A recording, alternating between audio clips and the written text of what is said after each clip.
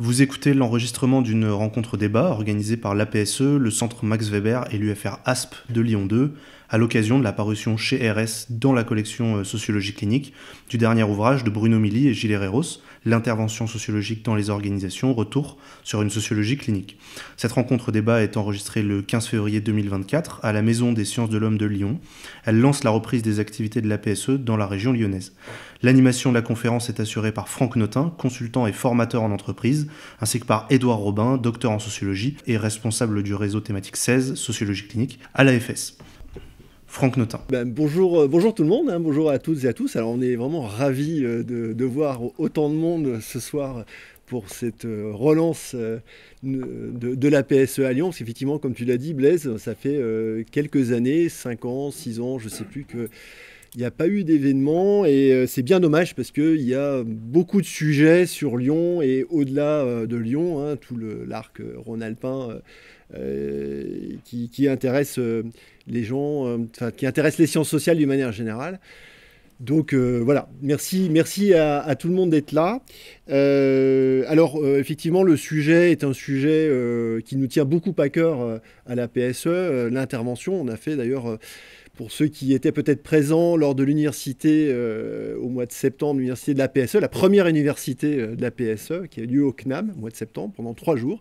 Il y a eu, on a parlé aussi d'intervention. Donc c'est un sujet qui nous tient à cœur et euh, c'est un sujet euh, finalement euh, très pluridisciplinaire.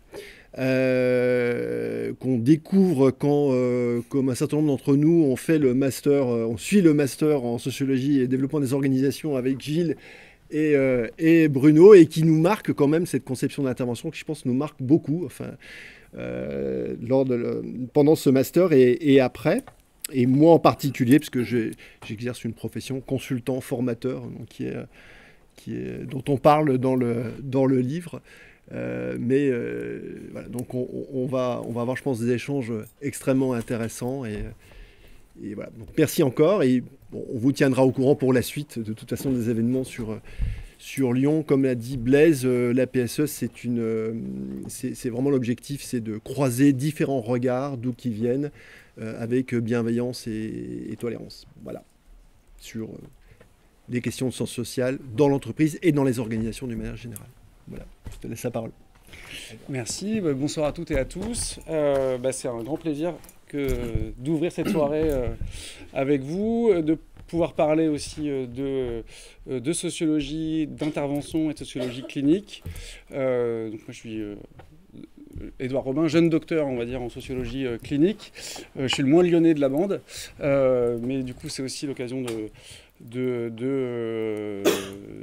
de, témoigner, de partager des pratiques de sociologie clinique qui sont aussi dans d'autres laboratoires que le Centre Max Weber. donc on aura peut-être l'occasion d'en débattre un peu plus tard. et d'ouvrir les, les, travaux de la PSE avec un livre donc, euh, qui nous concerne à double titre, euh, sur l'intervention sociologique et sur un, retour sur une sociologie clinique. Alors je sais que c'est parfois un thème euh, ou une, association de deux termes qui fait grincer ou sourire ou tiquer sur la sociologie et la clinique.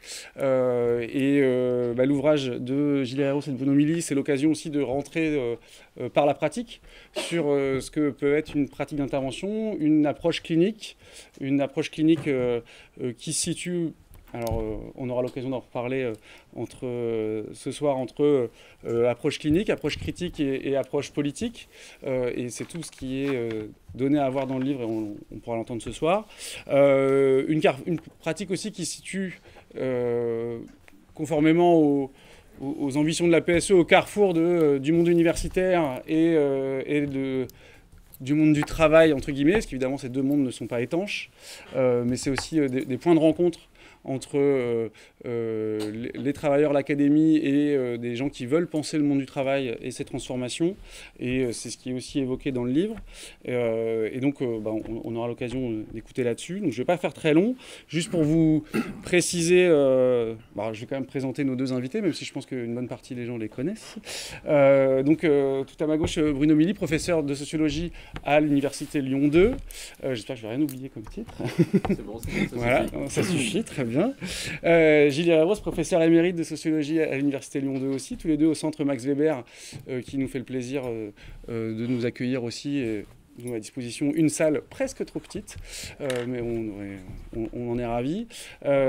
juste pour vous préciser, voilà, donc on, va écouter les deux auteurs successivement. D'abord revenir sur les intentions euh, du livre et, euh, pourquoi euh, finalement ils ont eu envie d'écrire ce livre-là et de partager avec nous. Qu'est-ce qu'ils ont eu envie de donner à voir de à la fois leur pratique de sociologue et leur réflexion de sociologue aussi.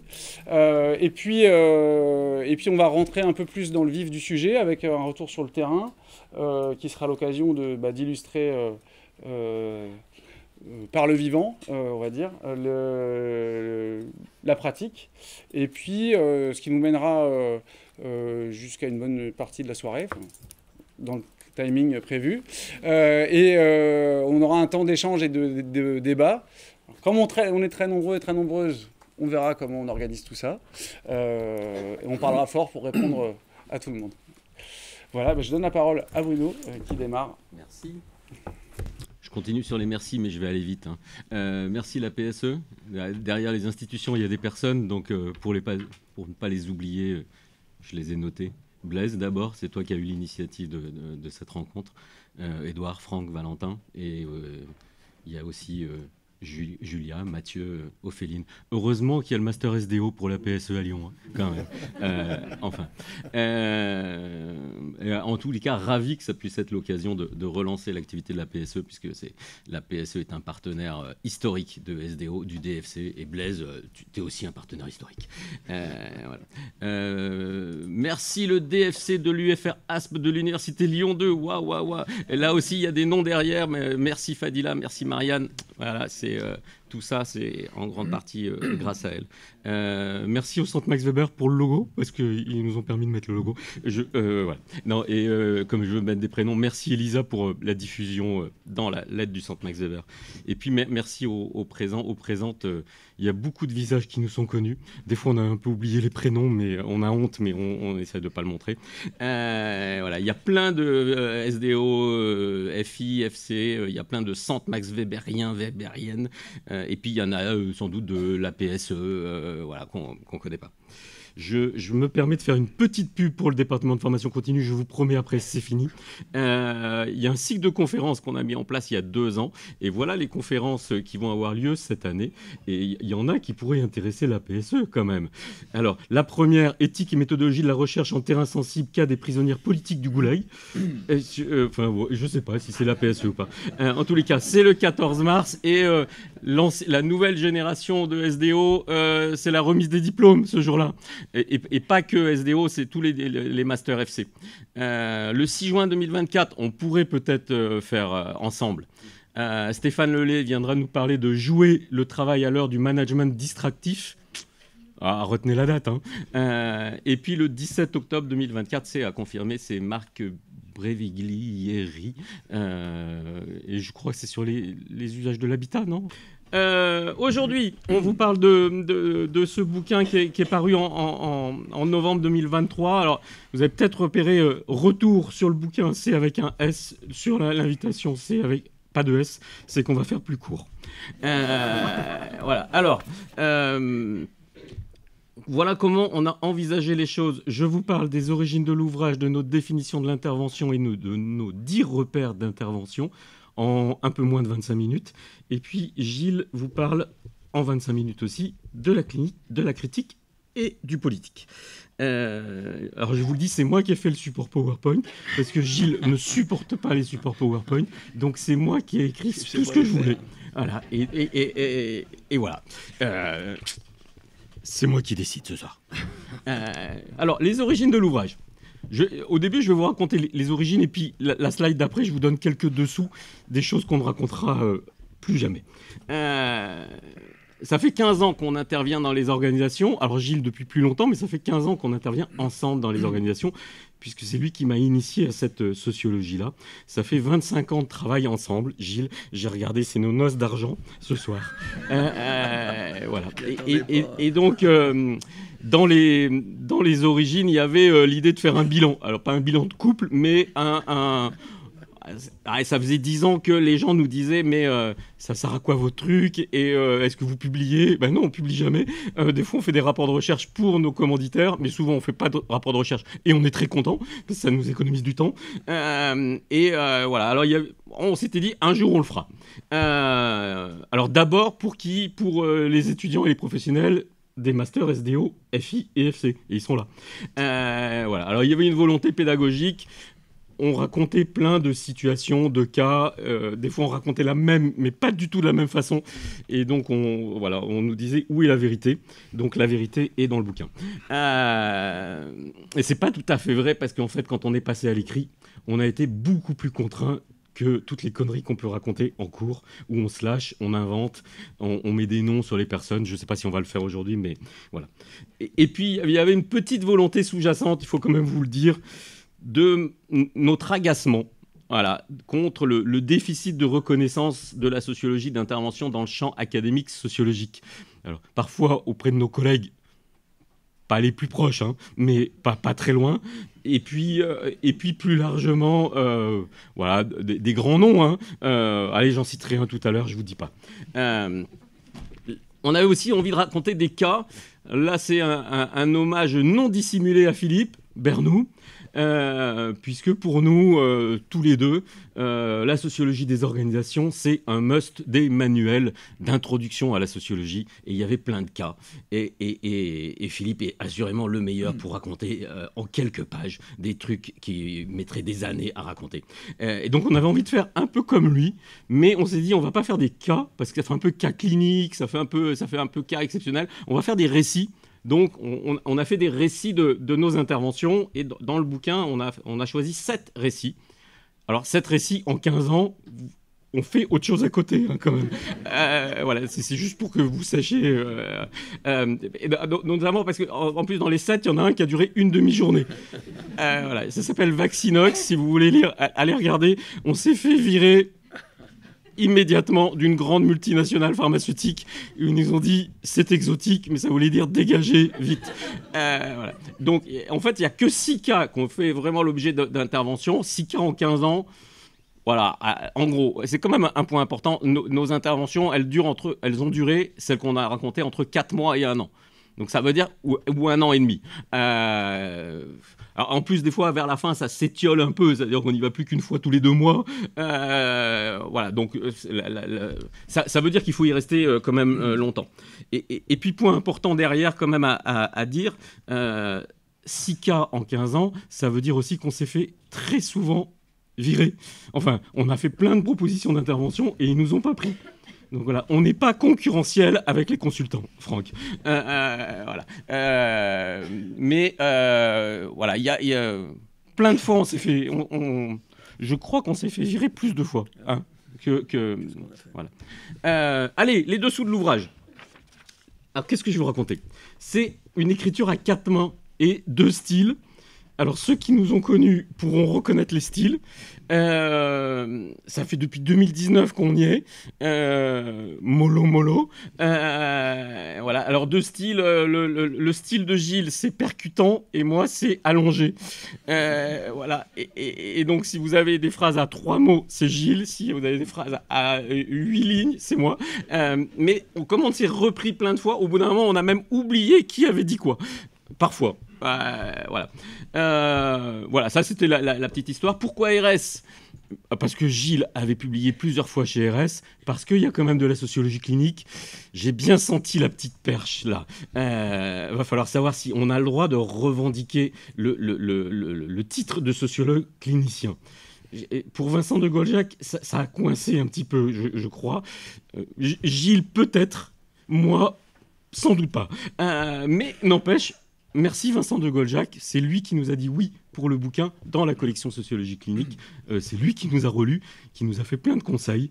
Euh, voilà, ça a été. Euh, on n'avait pas l'habitude d'avoir tous ces conseils.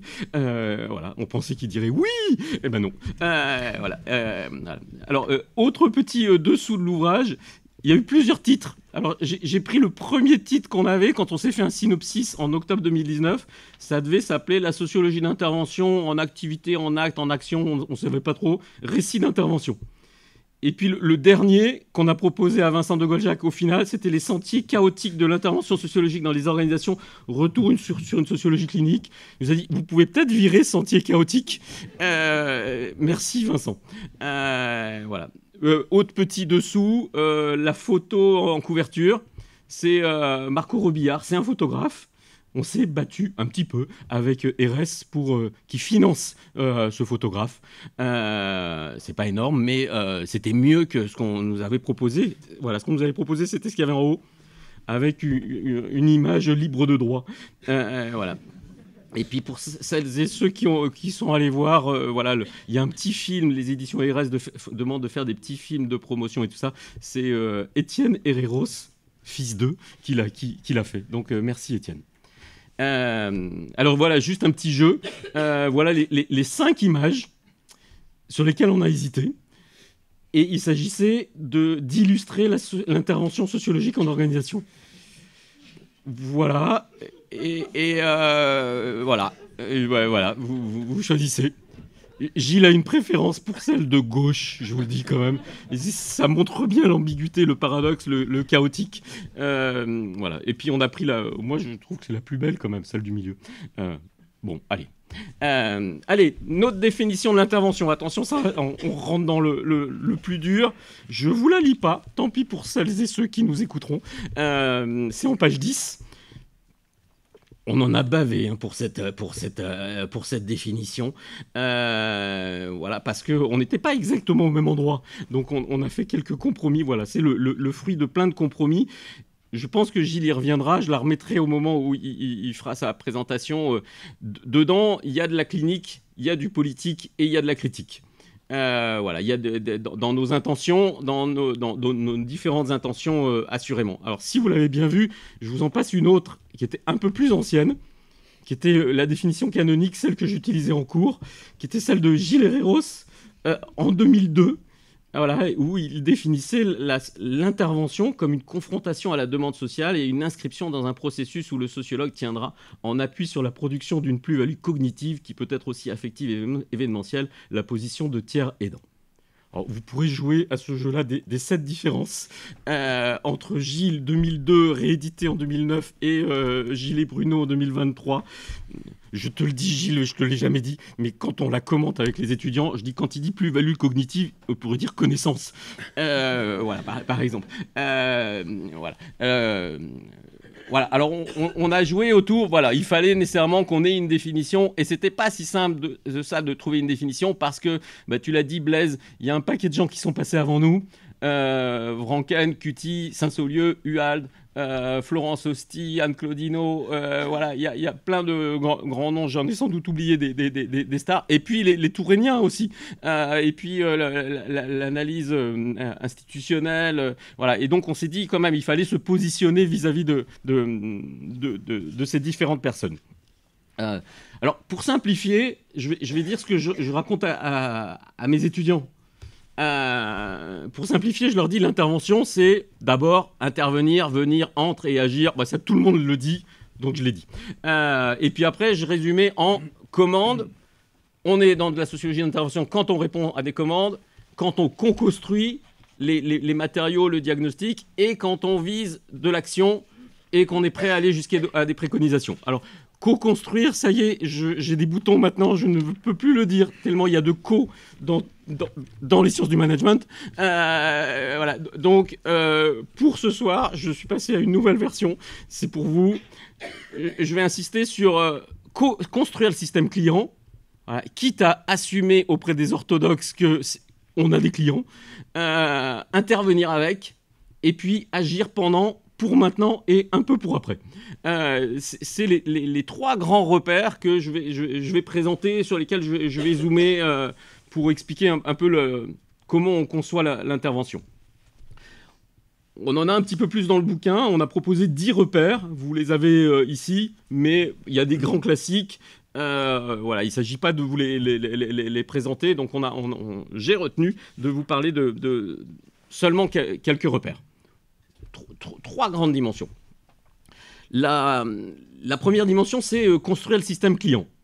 Euh, alors, c'est, euh, euh, ça concerne toutes les sociologies d'intervention, cette idée de système client. Alors, on s'est battu pour essayer de savoir qui avait utilisé ce terme-là. D'abord, je crois qu'on n'a pas trouvé la, la, la, bonne référence encore. Et, à un moment, c'était staff client, et puis c'est devenu système client. voilà. Alors, pour résumer, ça veut dire qu'on n'y va pas si on n'a pas l'accord du plus grand nombre. Euh, alors ça, ça fait référence aux dix premières années qu'on a faites ensemble, où on répondait à des appels d'offres du ministère de la Santé ou des, grandes agences du ministère de la Santé et qui nous demandaient d'aller enquêter à l'hôpital pour savoir ce que les petits de l'hôpital pensaient de l'accréditation, euh, quoi. Et euh, je vous assure qu'on n'avait pas l'accord du plus grand nombre. On a l'accord de personne. On avait l'accord des trois de la Haute Autorité de Santé qui avaient pensé, qui avaient 100 000 euros, euh, je ne sais pas, pour euh, balancer différents appels à projets. Et quand on appelait des directeurs d'hôpitaux, il n'y en avait aucun qui était content de nous recevoir. Euh, et, quand on, et quand on descendait dans la hiérarchie, personne n'était content. voilà. Et, et pourtant, on a fait ces recherches-là. Et à la fin, on faisait un rapport de recherche qui, je crois, est allé dans un placard de la Haute Autorité de Santé et qui a dû être lu par deux personnes, peut-être. voilà. on l'a fait depuis, on, ne le fait plus. Alors, dans les grandes organisations, c'est ce qu'on raconte au pôle de l'équipement ou à Vaccinox, euh, voilà, on veut l'accord majoritaire des syndicats. Donc, quand on a un commanditaire, on veut rencontrer les syndicats. Si on, on, dit jamais l'accord unanime parce qu'on l'aura jamais, euh, voilà. Mais on veut l'accord majoritaire des syndicats. Ça veut dire qu'on veut, on veut rencontrer les syndicats. Ce qui fait que Vaccinox nous a mis à la porte. Parce qu'ils ont dit, mais pourquoi vous voulez rencontrer les syndicats? Puisque nous, on a un plan de lean management et ça serait bien que vous nous accompagniez là-dedans. Euh, et les syndicats, justement, ils, vont nous, nous, embêter.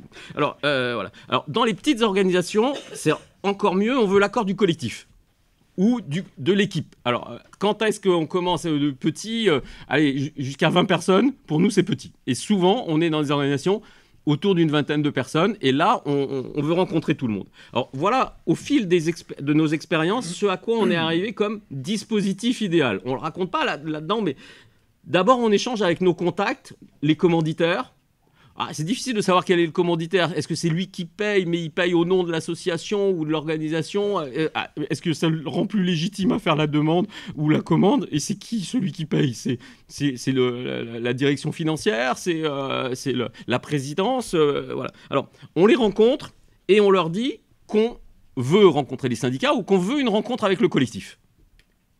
On veut une première rencontre avec le collectif. S'ils disent oui, on fait un premier texte qu'on leur adresse et on leur demande de le diffuser au collectif. Et on arrive sur la base de ce texte-là. Et on fait, on expose nos façons d'intervenir et on fait d'abord un tour de table où chacun évoque le, pourquoi il pourrait y avoir un intérêt à faire l'intervention. Euh, parfois, c'est eux qui sont à l'origine et qu'on sollicité la direction ou euh, voilà pour qu'il y ait une intervention. Parfois, c'est la direction qui a eu cette idée et les gens sont amenés à se positionner vis-à-vis de cette super idée. Euh, voilà on expose les, différents euh, scénarios possibles et on expose, euh, j'ai envie de dire crûment, nos intentions politiques, critiques et cliniques. Euh, voilà. Et sur cette base-là, on propose éventuellement des scénarios. Des scénarios, on leur dit voilà comment on pourrait intervenir par groupe, par entretien individuel, voilà. on repart et on propose un nouveau texte. Et on n'y retourne que s'il y a accord du collectif sur, sur la base de ce nouveau texte, sur la base de ce scénario. Alors, parfois on a l'accord.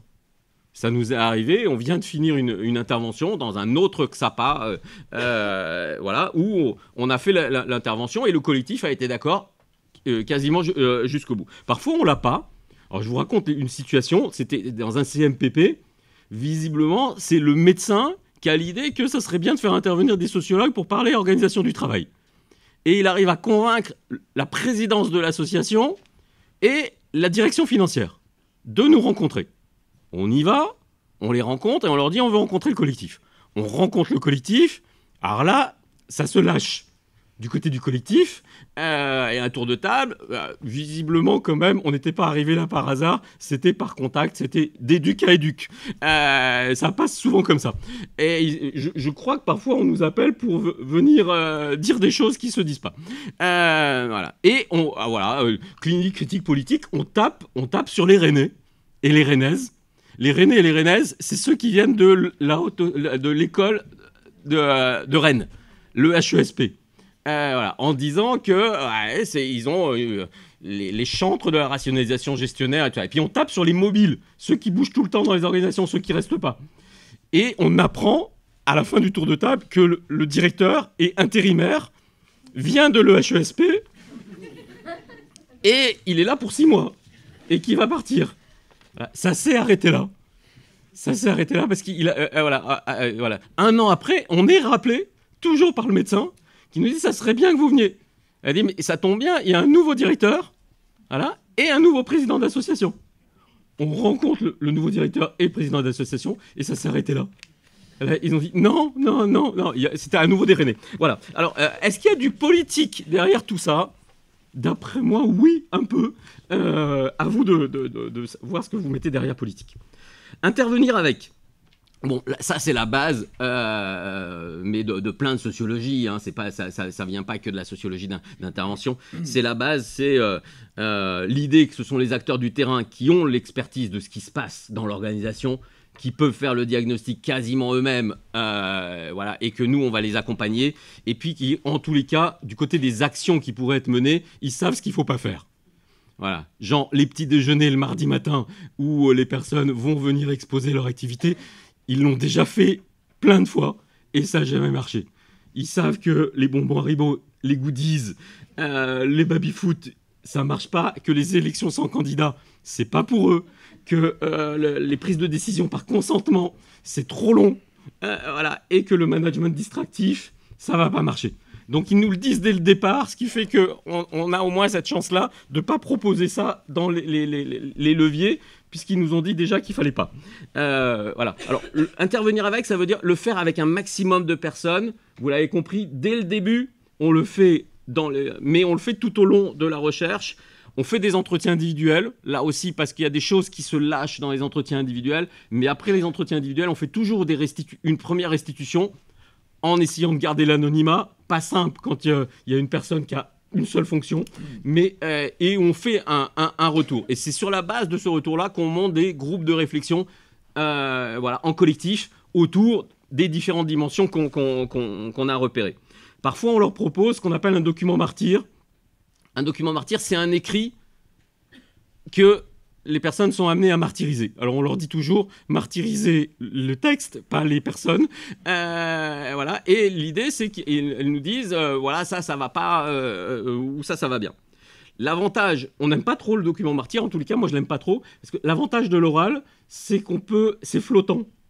On peut toujours dire, on s'est mal exprimé quand on voit que ça tique. Euh, des fois, c'est Gilles qui attaque et moi je dis non, non, mais euh, je pense pas tout à fait la même chose. Des fois, c'est dans l'autre sens. Vous voyez, l'oral permet une espèce de fluidité euh, pour que ça passe. et l'écrit, par contre, ça reste. et puis, ça enlève pas le, fait que tout le monde comprend pas la même chose quand on, quand, quand on lit. voilà. Alors, je vous donne juste deux petits, deux petits exemples. le pôle de l'équipement, on en est arrivé au document martyr qu'on avait écrit pour le groupe de méthode, dans des grosses organisations, on ne peut pas travailler avec tout le monde, donc on travaille avec un petit groupe qui euh, représente un peu l'organisation. On leur donne le document martyr, il est attrapé, on va dire que ça comme ça, par euh, le directeur de la structure qui nous dit arrêtez tout, vous dégagez. Euh, voilà, parce que c'est trop critique. Voilà. Alors c'est vrai qu'il nous avait dit au début, il faut pas que vous critiquiez le Grenelle de l'environnement. Et on avait mis une petite citation en mettant euh, le, Grenelle de l'environnement, c'est un miroir aux alouettes. Euh, mais c'était des, personnes qui nous l'avaient dit. Et elle a dit, mais c'est pas vrai, ils l'ont pas dit. Euh, il avait dit, vous critiquez pas Sarkozy. il faut pas qu'il y ait la moindre critique de Sarkozy parce que ça va être lu par le ministère. De fait, il y avait quelques acteurs qui critiquaient la révision générale des politiques publiques enfin pas quelques acteurs, 90% des personnes qu'on rencontrait critiquaient la, RGPP. Alors on l'avait dit, et là il a dit ça c'est pas possible, ça ne peut pas être lu au ministère. Et puis il y avait un autre truc qu'on avait fait, mais c'était un peu de la provoque, on avait rassemblé tous les adjectifs que les gens utilisaient pour qualifier leurs collègues. et on avait rassemblé ça dans ce qu'on appelait un florilège. Et il avait dit, vous nous mettez une bombe dans l'organisation. Et c'était un petit peu vrai. Euh, voilà. Mais, mais, euh, mais c'était pour, pour montrer que dans certaines organisations, euh, parfois, on critique les autres sans les connaître, alors qu'ils sont dans le bureau d'à côté. juste pour vous dire aussi qu'on gagne rarement, dans un, cas qui s'appelle Logement pour tous, la martyrisation a eu lieu. On leur a donné un texte. Voilà. Et ils s'y sont mis. Ils étaient 12 et chacun a pris un paragraphe. Il nous a dit celui-là, pas trop, non, je préférais que vous l'enleviez, tout ça. Et à la fin, il n'y avait plus rien de la partie qui était sensible, euh, qui était sensible, qui était les relations avec l'extérieur. Euh, et, on a perdu. Euh, voilà. Le, dernier point, en, deux minutes. Le dernier point, agir pendant, pour maintenant et un peu pour après. alors ça renvoie à des grandes questions. C'est à quoi sert-on? À quoi sert la sociologie d'intervention? À quoi sert vraiment la sociologie d'intervention? Ça, c'est pour Dubé. Euh, euh, N'est-on qu'à servi? Ça, c'est pour Boltanski. Euh, voilà. Si on a le temps, je vous mettrai. Allez, je vous la mets. Elle est là si vous avez envie de la lire. Non, en gros, il nous compare les sociologues d'intervention à des perspectives d'ingénieurs qui se mettent au diapason des responsables en charge de vastes organisations et, en disant cette position est celle de l'expertise. Un peu plus loin, il dit le, le, premier objectif de ces sociologues est d'accroître la rationalité des organisations et d'augmenter leur productivité, ce qui subordonne la sociologie au management. Le second objectif est aussi de limiter les coûts, mais cette fois les coûts dits humains, entraînés par les politiques gestionnaires qui visent le profit. Dans ce second cas, la sociologie est mise à contribution pour aider à la mise en place de soins palliatifs. Alors voilà, quand on, alors quand on prend ça dans la gueule, les sociologues d'intervention, soit soins palliatifs, soit management, vous comprenez un peu qu'on avait envie de, d'écrire quelques pages. Euh, voilà. Alors, la question des, préconisations. Généralement, quand on, on, nous dit au début, il va falloir que vous nous fassiez des préconisations, on leur dit on n'est pas bon là-dessus.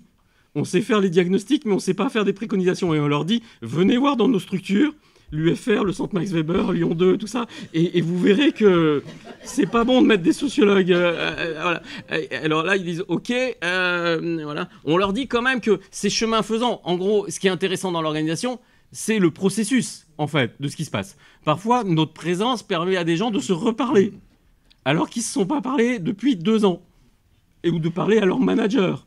Euh, et on leur dit, c'est juste ça. Alors, c'est pas très vendeur. Hein. On leur dit, c'est juste le temps euh, de l'intervention. Pour autant, c'est à peu près, euh, certain que c'est surtout le, temps de l'intervention que, tout, se joue. Alors, parfois, on peut espérer qu'il y a des petits effets après, quand on est parti, mais on nous a jamais rappelé donc c'est pas dit qu'il y ait des effets très très positifs. Euh, voilà. Alors des fois on a des échos, euh, mais c'est pas toujours. Euh, on, fait du mal des fois aux, managers notamment. voilà. Alors on voulait remercier ce soir les managers de leur courage, des fois de nous passer des commandes. voilà. Des, des, fois les managers ont fait SDO et ils sont devenus managers et ils nous appellent en se disant ah c'était sympa c'est sympa en cours mais c'est pas sympa en, intervention voilà on n'aura pas de terrain là ce soir. Euh, euh, allez euh, ouais moi je, pense que finalement je vais terminer là-dessus. Je, je, je, pense que au final l'intervention ça permet quand même de libérer la parole parfois de déplacer le curseur des régulations, de certaines régulations qui vont pas très bien, euh, ça, peut aller jusqu'à se taper dessus, hein. euh, voilà, et de faire advenir le sujet. Euh, ça c'est le, voilà. donc ça ressemble à de la clinique, à de la critique et du politique. À toi Gilles. Très bien, merci. Bon, je ne vais pas me relancer dans, les remerciements à tout le monde. merci à tous ceux qui sont venus euh, d'être là. Il y a plein de visages connus. Euh, je ne me souviens pas toujours des noms ni des années, c'est le plus grave ça aussi. Euh, mais merci à tous. Bon, alors je, vais prendre le relais selon un, programme qu'on avait dessiné tous ensemble, en évoquant ce que recouvrent les notions de critique, de clinique en premier, critique, puis politique, et en fournissant un, cas, enfin un récit qui est dans, le bouquin, que je vais raccourcir évidemment, pour euh, tenter d'accrocher ces trois termes à du concret. Alors quelques éléments de, complément sur ce que euh, nous a raconté Bruno. Euh, tous les cas qui sont présents, ou les récits qui sont présents, ont été modifiés. C'est-à-dire que quand la situation euh, a lieu à Lyon, on va la situer en Normandie, j'exagère parce que le cas de figure ne se présente pas, mais quand c'est une femme, on va dire que c'est un homme, on s'est débrouillé pour modifier les situations afin que, personne ne, prenne ombrage, si d'aventure euh, les gens viennent à nous lire, de, se retrouver euh, mentionné dans le document. Donc on a pris un certain nombre de précautions. Le cas que j'ai décidé de, présenter comme une espèce de support au déploiement de ces trois notions cliniques, critiques et politiques euh, fait partie de, ces cas qu'on a triturés. donc je vais continuer dans la trituration. Alors, L'histoire que je vous raconte a eu lieu il y a quelque temps euh, dans une structure du travail social qui rassemble euh, des éduques. C'est souvent le cas. Alors, comme toujours, hein, euh, Bruno a, fait allusion, c'est par le truchement d'un ancien étudiant qu'on a la possibilité d'intervenir dans cette structure. Donc, structure du travail social, on a des éduques, des AS, des médecins, des psys qui sont là-dedans, une petite équipe. Et les, ducs qui nous, enfin le, travailleur social qui nous contacte, avec qui on est dans de bonnes relations, euh, toujours en formation, de bonnes relations, euh, nous dit être euh, sur le départ, sur une date qui n'est pas encore bien fixée, et que cette personne aimerait qu'avant son départ, il y ait eu un travail avec nous pour socler en quelque sorte l'organisation de telle manière qu'à son départ, puisqu'elle est là, la personne est créatrice de, cette structure depuis une bonne euh, euh, décennie, voire plus, une vingtaine d'années, et euh, elle subodore qu'à son départ, il pourrait y avoir des fragments d'organisation qui tombent en morceaux, et donc elle voudrait consolider tout ça, elle nous fait appel, elle, nous fait confiance, donc elle se dit, si vous bossez avec, avec nous, peut-être qu'on aura un socle là intéressant. Comme Bruno l'a indiqué, on va rencontrer l'équipe et on va demander l'accord à, l'équipe pour intervenir, euh, accord qui n'est pas très difficile euh, à obtenir. Et l'intervention commence.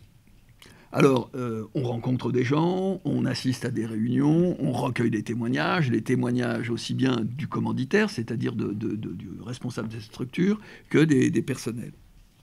Et les témoignages, en substance nous donnent à voir qu'il y a des plaintes, comme souvent de tous côtés plainte du commanditaire qui dit je, ne vois pas très bien qui va pouvoir prendre ma place. Euh, euh, euh, tantôt je fais confiance à l'un et puis je m'aperçois que ça va pas aller. Tantôt je fais confiance à l'autre et puis je m'aperçois que ça va pas non plus.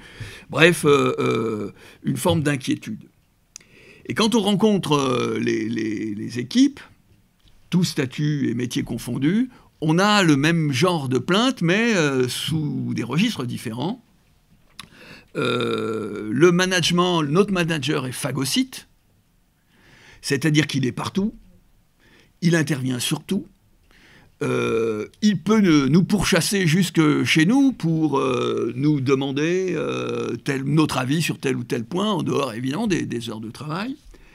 Et tantôt on se trouve l'élu de son cœur, et à d'autres moments, euh, on est rejeté. Euh, donc il y, a là une, expression de, souffrance, on va le dire comme ça, qui, s'exprime. Qui s'exprime des deux côtés, hein, de la part de l'équipe et de la part de ce responsable d'équipe. Alors, comme toujours, je, reprendrai ça dans l'illustration de ce qu'est la clinique, mais quand on intervient, on éprouve c'est-à-dire qu'on éprouve ce qui se passe. On n'est pas euh, en posture d'observation euh, euh, à l'abri de, tous les soubresauts de l'organisation. On éprouve quelque chose. Et première situation où, j'éprouve, Bruno n'est pas là, on serait parti le, le, job, je suis dans une réunion, et au cours de cette réunion, l'ordre du jour est donné, et euh, euh, il manque un point sur l'ordre du jour. Le, collègue qui a fait l'ordre du jour a oublié ce point-là. On est au commencement de cet échange. Le cadre interrompt l'échange, euh, d'autant de, de, manque de, professionnalité chez celui qui a fait l'ordre du jour et s'en va rectifier l'ordre du jour dans un bureau voisin, laissant Pantoise l'équipe, composée d'une dizaine de personnes. Alors, à la fois exaspéré et rieur. Et on me dit, c'est toujours comme ça. Bon, donc je, trouve le, moment un peu, un peu particulier. pendant cette intervention, on va éprouver aussi ce management phagocyte. C'est-à-dire qu'assez régulièrement, le soir, à 20h, euh, à 20h30, euh, ou à 19h, mais ça va continuer, ça va durer jusqu'à 20h30, le responsable nous appelle et nous fait, part de ses émois, de ses inquiétudes, etc. Alors, euh, selon la manière dont on y répond, il passe au suivant, et, ça se répète. Et ça fait écho évidemment à ce que les professionnels nous ont dit, c'est-à-dire à ce, management phagocyte.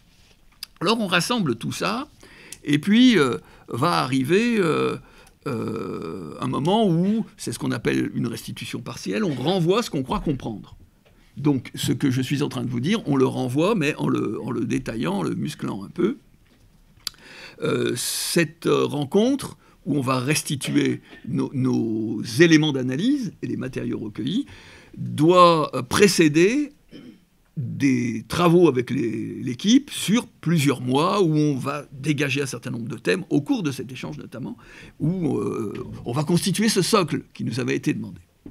Sauf que lors de cette restitution, tous les gens qui prennent la parole sont par ce responsable coupés avec toujours beaucoup de, véhémence, euh, pointant euh, l'incomplétude de l'information qui est donnée par tel professionnel, pointant euh, l'irresponsabilité de tel professionnel de tenir de, ce, genre de, propos, euh, bref, une omniprésence de ce responsable.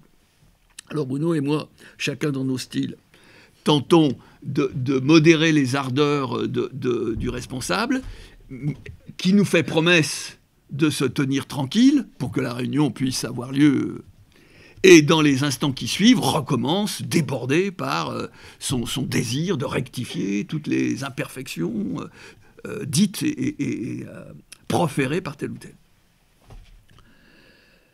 À ce moment-là, je suis, nous sommes, mais peut-être moi avec plus de, véhémence, je suis outré par cette castration collective.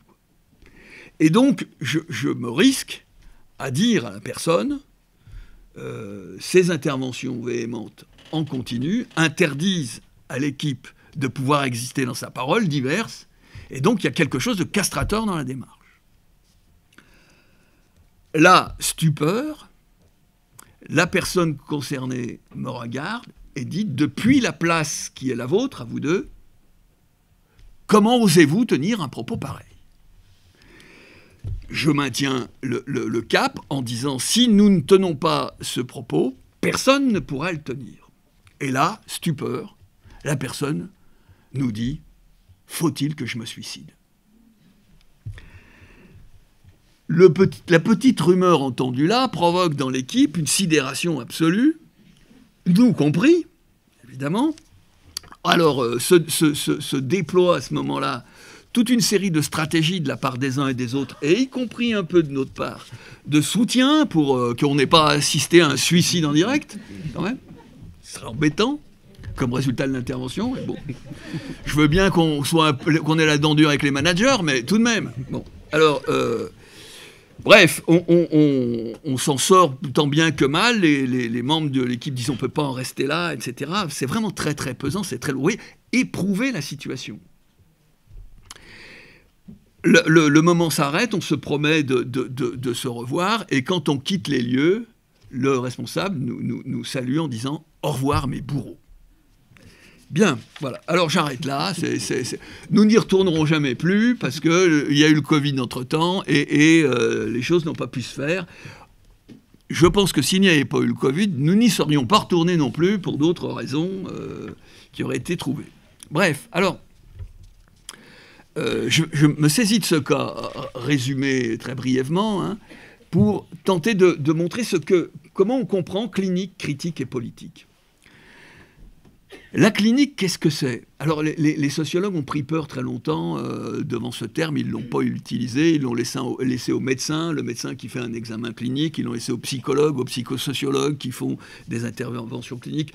Bon, et puis il y a une trentaine d'années, euh, quelques fougueux sociologues, euh, Eugène Henriquez en particulier, puis derrière lui Vincent de Gaulle-Jacques, dans la lignée de Max Pagès, de gens qui étaient plus du côté versus psy que du versus sociaux, se sont mis à utiliser le terme, exhumant un vieux sociologue des années 30 de l'école de Chicago, Wirth, qui avait déjà utilisé ce terme, se disant tiens là on a une espèce de label pour tenter de, de mobiliser cette notion, et depuis 30 ans cette notion est devenue assez classique. Il y a dans le réseau des sociologues un, réseau thématique qui s'appelle, et que Edouard euh, euh, pilote en ce moment, euh, le réseau de sociologie clinique. Bref, alors qu'est-ce que c'est que la clinique? La clinique, c'est pas simplement de la proximité c'est pas simplement de la monographie, comme on dit certains sociologues, comme Michel Crozier, qui disait même moi j'ai toujours fait de la clinique, je fais des monographies. Non, c'est pas ça. C'est pas non plus de l'empathie. Voyez, ce que les termes que les sociologues utilisent beaucoup, ils disent il faut être empathique et l'empathie ce sera la clinique. La clinique c'est pas ça. La clinique, c'est de, la mise en, interrogation et en réflexion de ce qu'on pourrait appeler un rapport intersubjectif entre sujet et sujet. Sujet euh, euh, observé comme sujet observant. J'aime beaucoup, alors pour ceux d'entre vous qui me connaissent, vous l'avez entendu déjà une demi-douzaine de fois, ça fait partie de mon fonds de commerce, j'aime beaucoup cette euh, formule de, Machado, un, poète espagnol, qui dit L'œil que tu vois n'est pas un œil parce que tu le vois, il est un œil parce qu'il te voit. L'œil que tu vois n'est pas un œil parce que tu le vois, il est un œil parce qu'il te voit. C'est-à-dire que quand on est dans une situation d'intervention, on n'est pas simplement là en train d'observer, de, recueillir et d'analyser, on est observé, on, provoque des réactions, on est analysé.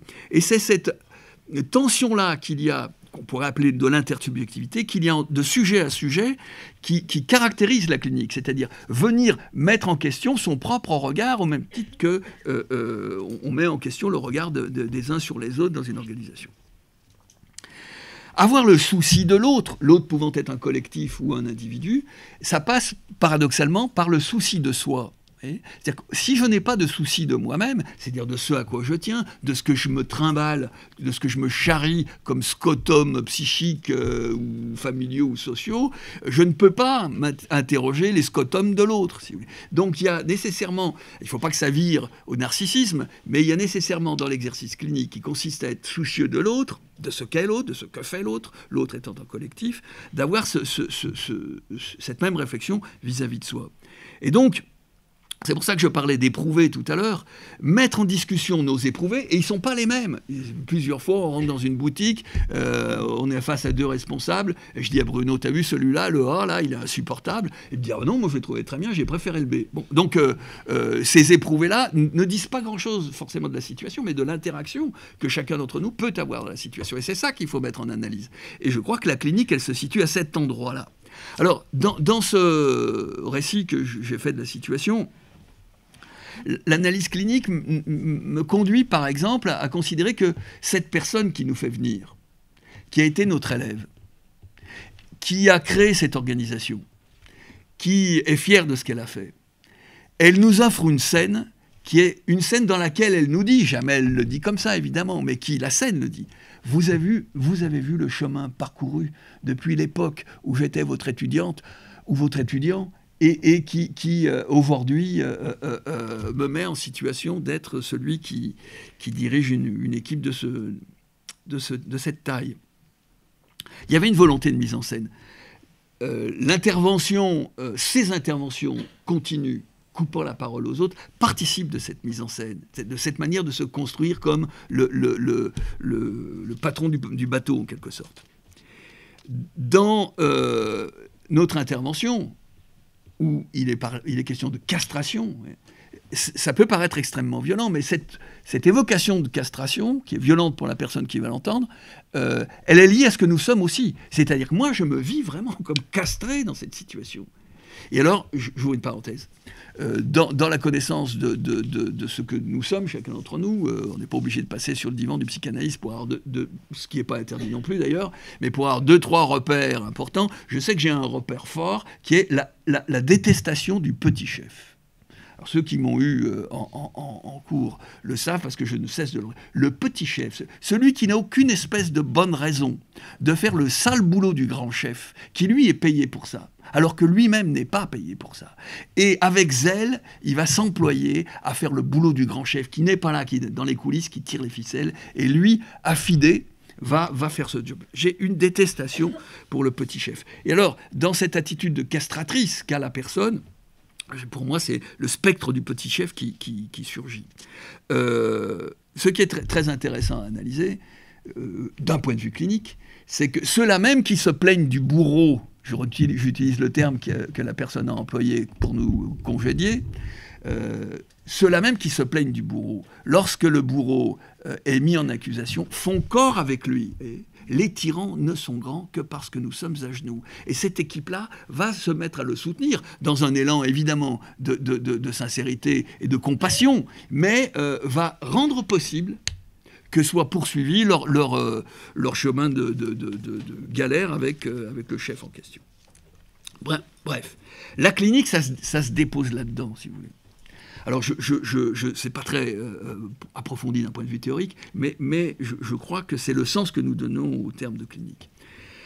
Le second terme, alors vous voyez, ces trois termes, clinique, critique et politique, trament nos interventions. On peut toujours donner des références, on peut toujours donner des manières de faire, euh, mais ce, qui tricote nos, pratiques, c'est cette grammaire clinicienne criticiste, si j'ose dire, et politique.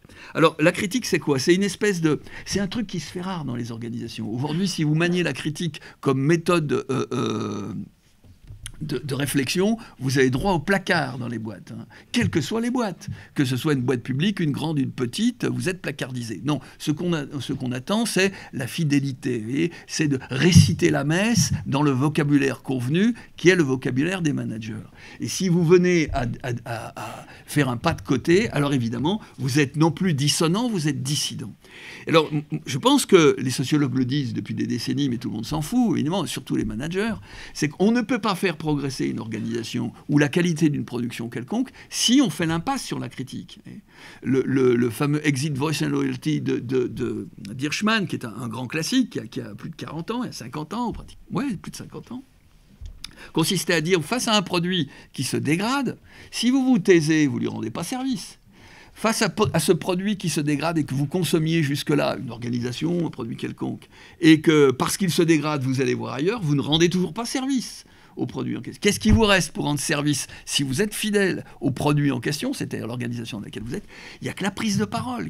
Et cette prise de parole est une prise de parole critique. C'est-à-dire qui qu'est-ce que c'est que la critique? C'est une mise en question. C'est une mise en crise. Non pas pour le plaisir de foutre le bazar, mais euh, pour euh, euh, tenter de, faire en sorte que se déplace l'organisation dans laquelle on est. Donc la critique, c'est une règle. Le fait d'évoquer la castration, après avoir tenté, en des termes plus modérés, de dire est-ce que tu pourrais pas laisser la parole un peu plus à tes collègues? Ça relève de cette critique, qui a une forme de, radicalité. Elle peut euh, être conçue comme, comme euh, excessive, je, crois qu'elle est, qu'elle est indispensable. Alors cette critique, on l'adresse quand on ressent, euh, on l'adresse avec ceux, à ceux avec qui on travaille, mais cette critique, on se l'adresse à nous-mêmes. C'est-à-dire qu'on on est en permanence on, travaille ensemble depuis plus de 20 ans, on est des complices, mais on n'est pas les mêmes. Et on n'a pas les mêmes perceptions. Et donc, on croise en général euh, nos, regards. Il va me dire là, t'as encore euh, déconné, t'as forcé un peu. Et je lui dis, mais toi là, t'es un peu trop gentil, euh, t'as trop arrondi le bazar. Et alors, à partir de là, on, construit quelque chose, ce qui évoque, entre parenthèses, la nécessité de ne pas intervenir seul. Parce que quand vous êtes seul et qu'on vous dit, tant si tu continues, je me suicide, je pense que les, les, les, gens flagellent un peu plus encore, hein, ou flageolent un peu plus. Là, bon, Alors, donc, cette question de critique euh, me paraît fondamentale. C'est la, deuxième, j'arrête euh, j'arrête avec ça. Le troisième point, euh, c'est la question de la politique. Alors, plusieurs fois, quand on, expose nos, affaires, j'ai été confronté à des gens qui disent, mais plutôt que politique, est-ce que vous ne devriez pas parler d'éthique l'éthique de l'intervenant. L'éthique, pour moi, c'est. Alors, outre le fait que les, philosophes s'empaillent depuis des lustres pour euh, considérer que cette notion-là n'est pas forcément différente de la notion de morale et qu'elle peut avoir des, côtés normatifs, etc. Bon, je vous ouvre une parenthèse. J'étais dans un colloque au Canada il y a quelques années de ça, euh, euh, dans un centre d'études d'éthique du travail. Et puis, il y avait un intervenant qui ouvrait la, la session et qui disait la chose suivante c'est lui qui parle.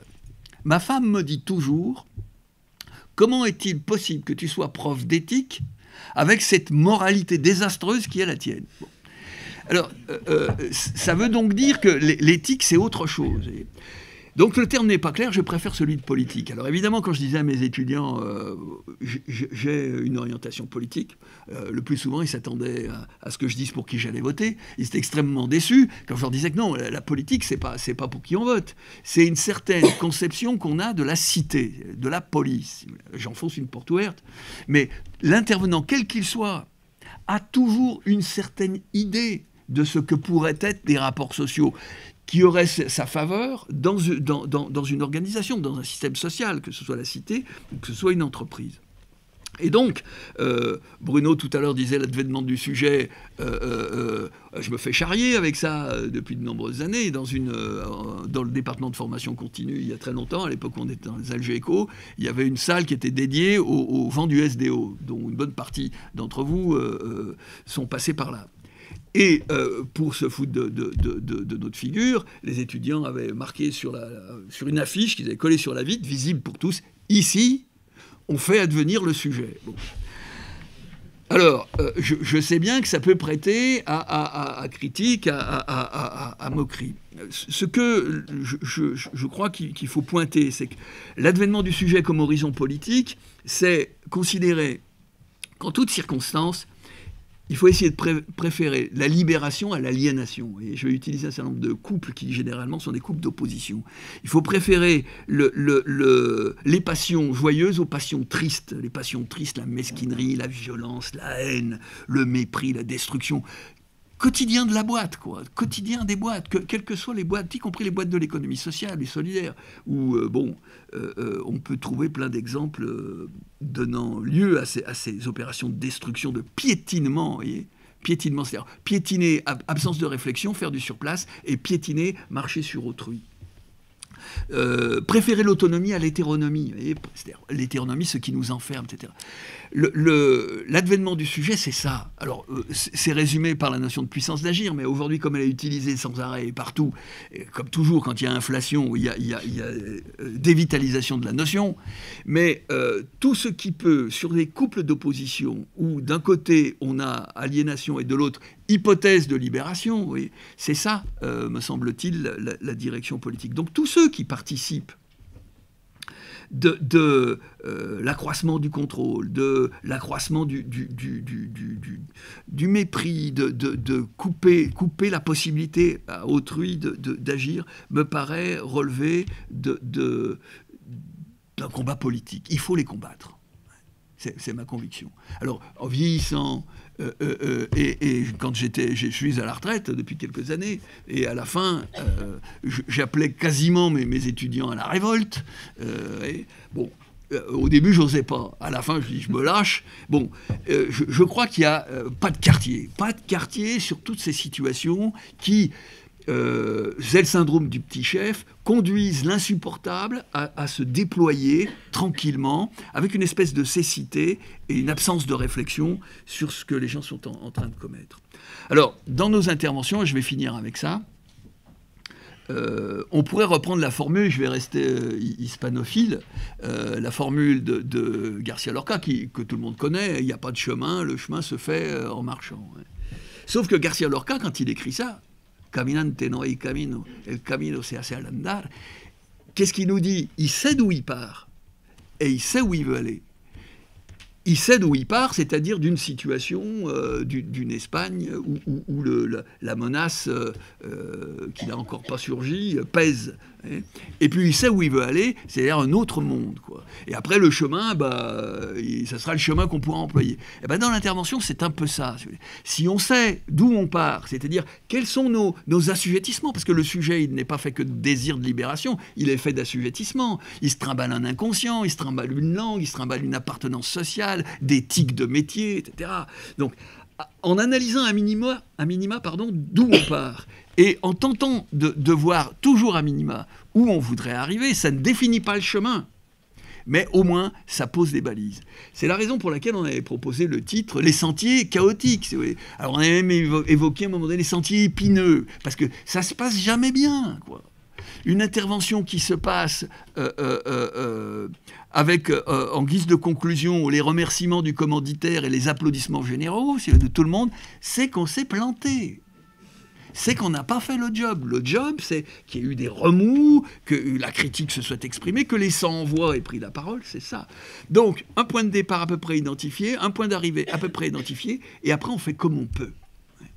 Alors on a des repères, Bruno les a énoncés tout à l'heure pour quelques-uns et affichés, euh, mais c'est pas euh, la méthodologie en trois temps euh, d'Alain Touraine exposée il y a 50 ans, qui, avait son, ses mérites, mais on n'est pas là-dedans.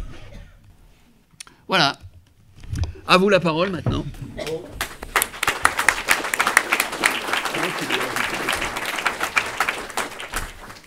Un timing parfait. On va prendre quelques questions, s'il euh, y en a déjà. Sinon, moi, je démarre, parce que j'en ai une. Bah, je démarre. Euh, merci, merci pour, euh, bah, pour, ça, pour bah, votre prise de parole à deux voix. Et j'ai envie de rester sur ce thème-là, c'est-à-dire vous nous offrez aussi une pratique à deux. et, et que ce soit dans la recherche euh, et peut-être encore plus dans l'intervention, c'est pas toujours une situation euh, pratique. Euh, souvent pour des raisons, peut-être Franck ne me, contredira pas, mais pour des raisons budgétaires, on va se retrouver à intervenir tout seul. voilà, et, là, vous me, donnez aussi des exemples d'intervention à deux, et, bah, en, vous écoutant, là, je me suis dit ça a été un peu évoqué, mais peut-être qu'on peut développer un peu ça. Qu'est-ce que ça fait de faire de la clinique à deux? Euh, Qu'est-ce qu'on y gagne? Qu'est-ce qu'on y risque? Euh, Gilles t'a dit que la, clinique, c'est de l'intersubjectivité. Euh, et bah, déjà, en arrivant à deux, ça s'intersubjective dès le départ. Qu'est-ce qu'on on, y gagne aussi? C'est évoqué dans le bouquin, mais j'aimerais un peu de développement là-dessus. Puis qu'est-ce qu'on qu'est-ce qu'on y risque et comment ça se construit? Alors, c'est les noces d'argent ce soir, donc euh, euh je ne voudrais pas provoquer une crise. Euh, mais est-ce que. comment ça se construit aussi? Évidemment, ce n'est pas, c'est pas quelque chose qui tombe du ciel. d'intervenir à deux et d'intervenir dans, avec les postulats qui sont se présenter ici, c'est-à-dire de, manier une de prendre, euh, d'assumer sa position aussi, et c'est un peu ça l'intérêt de, l'approche clinique, c'est assumer la position qu'on est euh, un sujet, qu'on est assujetti, qu'on a aussi des désirs et qui sont, qui sont présents, euh, qu'on va être confronté à, des affects et qu'on va devoir les gérer avec les, avec les siens, qu'on va devoir faire de la critique à deux et parfois la critique, bah, on, ne va pas forcément critiquer dans le même sens, et, que le projet politique, bah, il est aussi on peut l'envisager de manière démocratique. Alors la démocratie à deux, c'est un peu limité, mais euh, voilà, il y a aussi la construction d'un compromis ou d'un consensus ou d'un accord. Euh, et, voilà, du coup, comment, euh, quelles, limites et quels intérêts vous auriez, si je caricature un peu le schéma, à, intervenir à deux et, en, prenant ces, trois postulats? Une première question. Après. Ah, des, petites réponses sur le style rigolo d'abord. Euh, euh, intervenir à deux, ça veut dire que je connais toutes les petites histoires de Garcia Lorca, Machado. je, sais que quand il y a Machado, Garcia Lorca va arriver après. mais je, comme je suis nul en espagnol, je jamais la. voilà. Ça, c'est la première chose. Et c'est pareil pour, euh, pour Gilles. Euh, autre chose sur l'écriture à deux, c'est un peu euh, décalé, mais l'écriture à deux, on, est tous les deux très narcissiques par rapport à notre écriture, en considérant que c'est la nôtre, c'est la sienne la meilleure. Donc on a trouvé ce système-là de, ne pas mettre des suivis de modification et on intervient directement sur l'écriture de l'autre, ce qui fait que l'autre ne se rappelle pas, ne voit pas toutes les coupures qu'il y a eu des fois, on, le repère quand même. Moi, quand je vois qu'il y a une grosse phrase là qui a été coupée en quatre, euh, je, suis un peu fâché, mais euh, je ne vais jamais. Voilà, j'ai décidé de ne plus jamais retourner avant. Et des fois, sans le dire à Gilles, je coupe des petits trucs. Euh, voilà, je coupe des notes de bas de page. Voilà, Gilles, la note de bas de page, la note de bas de page de Gilles, elle fait 30 lignes. voilà. voilà toujours sur le, style intervenir à deux, ça nous permet, vous l'avez vu, le, style bad cop, good cop. Euh, voilà, ça c'est assurément euh, quand il y en a un qui lâche une vacherie, euh, l'autre essaye de, récupérer, d'arrondir, d'être dans la clinique. Mais alors après, des fois, voilà, Gilles disait souvent, toi tu les fais pleurer et voilà, de façon clinique en entretien, et, et, lui il les fait pleurer en restitution. voilà, voilà. Alors c'est quand même sacrément intéressant. je me rappelle une fois une restitution, on a joué ce jeu-là, on avait plein de trucs à leur dire. C'était une euh, holacratie. Voilà. Et ils étaient très fiers d'eux. Et ils nous avaient invités à venir leur dire comment c'était beau chez eux. Je, crois qu'ils avaient aussi envie d'intervenir à l'université. Mais bon, euh, ça c'était. Euh, et à la fin, on avait envie de leur dire que c'était pas que beau et que notamment il y a des trucs un peu sectaires qui, euh, voilà. Et alors on s'est réparti le job. Il y en a un qui faisait l'institution totale et l'autre quelle belle utopie. Euh, voilà. Et, je crois que ce jour-là, c'est moi qui ai fait l'institution totale. C'était douloureux d'être méchant. Euh, voilà. Mais euh, ça, permet de jouer sur ces registres-là. Ça permet aussi de dire il n'y a pas de vérité absolue. Et voilà, on a des choses à vous exposer qui sont pas nécessairement sympas, mais on vous expose aussi des trucs sympas. On va commencer par le pas sympa. voilà, ça c'est le, point important. Après, sur la dimension clinique et tout ça, on a fait quasiment la psychanalyse de l'autre, euh, euh, voilà, en voiture, euh, sur l'ère des Beatles aussi. C'est lui, les Beatles. voilà. Et donc on connaît, on connaît les failles, on connaît les énervements. moi, je sais que son, son, je sais pas comment tu l'appelles, mais le syndrome du petit chef, je sais que quand il y a un petit chef qui se manifeste en, restitution, là, je, je flagelle. Euh, Parce que je sais que ça va péter. Euh, voilà. Et je sais pas quoi. Euh, voilà. Mais c'est c'est une habitude. Et je pense que c'est quand même pas mal d'arriver à dire les choses. voilà. C'est aussi ce truc-là qu'on se permet parce qu'on sait qu'on va pas y retourner. Et qu'il n'y a pas d'enjeu à y retourner. Donc, on se permet, on veut tout dire et on dit tout, on se, on, se restreint pas trop. Euh, voilà, des fois quand même on se restreint. Euh, voilà, en disant ça on peut pas y aller quand même parce que c'est trop, c'est, trop dur. Euh, voilà, il nous est arrivé de dire à la personne en, individuel, en amont, voilà, pour qu'elle soit préparée ou lui dire des choses directement qu'on ne dise pas au collectif. Voilà. Donc, mais ça, ça permet de, s'auto-contrôler aussi sur les, les, ce, sur quoi on peut aller. voilà. Mais vous le verrez dans le, voilà, dans le, les derniers chapitres, par exemple, il y a des, trucs qu'on a écrits séparément et euh, dans lesquels on se reconnaissait pas trop. Et il y a des moments aussi on lâche, voilà, parce que c'est aussi ça le compromis, c'est que l'autre y tient et donc euh, euh, voilà. Mais je, pense qu'on l'a co-signé à deux sans, souci.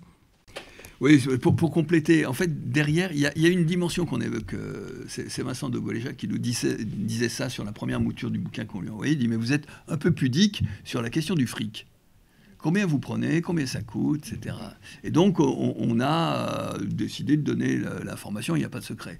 Mais euh, ce que je, voulais signifier, c'est que, bien sûr que tout, travail mérite salaire. Mais ce qu'on demande dans une intervention, je ne suis pas en train de faire de la pub, hein, mais ce qu'on demande dans une intervention est sans rapport avec ce qui se pratique sur le marché. Et donc, si on pratiquait sauf à s'appeler un grand groupe euh, euh, pharmaceutique euh, inscrit au CAC 40, si vous voulez, qui eux peuvent se payer.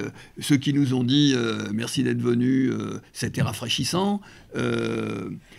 Derrière nous, on préférait prendre trois ou quatre consultants de McKinsey ou de je ne sais qui qui facturent 3000 boules la journée, si vous voulez. C'était pas le problème pour eux. Pour les petites structures dans lesquelles on intervient le plus souvent, le, fric est un problème, bien sûr. Quand on intervient à deux pour euh, euh, un tarif qui ne correspond c'est la moitié du, tarif d'un consultant pour une journée d'une grosse boîte, euh, ça nous permet d'intervenir à deux. S'il y a des consultants parmi vous, si vous intervenez à deux, ça double la facture. nous, on s'en fout un peu, hein, d'une certaine manière. J'exagère un peu, mais comment dire? On va faire en fonction d'interlocuteurs. Si le, groupe pharmaceutique nous avait pris, on allait les allumer. Mais, mais, mais euh, évidemment, ils ne nous ont pas pris. Bon, sur une structure qui, a 3 francs 6 sous, euh, bah, on fait avec les 3 francs 6 sous. Parce que ce qui nous intéresse, c'est quand même aussi, on, reste des, enseignants-chercheurs, c'est d'avoir un matériau, c'est d'avoir la richesse d'une situation, c'est de, non pas de transformer le monde, mais au moins de, pouvoir concourir, même très modestement, à déplacer quelque chose dans un sens politique qui nous paraît euh, pertinent. Donc euh, la dimension économique n'est pas, est pas, est pas secondaire. Après, ça relève là, puisque c'est les 25 ans, je vais pouvoir faire une déclaration, ça relève quand même de l'exception que dans le milieu de la recherche, euh, deux euh, euh, enseignants-chercheurs puissent coopérer et collaborer ensemble 25 ans sans anicroche, en écrivant, etc. En général, euh, euh, euh, dans le milieu qui est le nôtre, qui est un tout petit milieu où les passions tristes dominent assez largement, j'entends par là la mesquinerie, vous ou toute autre forme de, de petitesse qui va avoir le titre plutôt que l'autre, etc., qui va faire passer son, son poulain, bon bref. c'est très rare les coopérations durables, c'est très rare. Bon, euh, on peut encore collaborer 25 ans, ça me mettra aux environs de 95 ans. Ça devrait pouvoir se, peut-être se faire. 25 ans de Machado.